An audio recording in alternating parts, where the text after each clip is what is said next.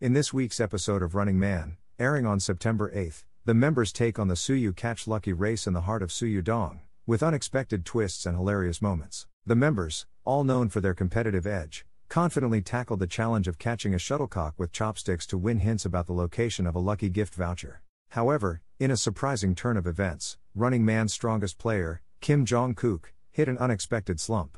Known for dominating every game, this time, the tables turned on him.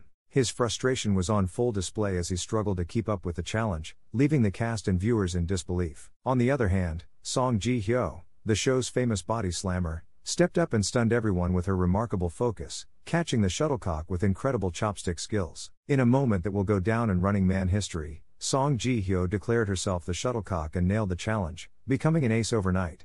Kim Jong Kook couldn't hide his disappointment, giving the audience a rare glimpse of his frustration as Song Ji Hyo took center stage. This rare role reversal, with Kim Jong Kook stumbling and Song Ji Hyo shining, is sure to leave viewers entertained and wanting more.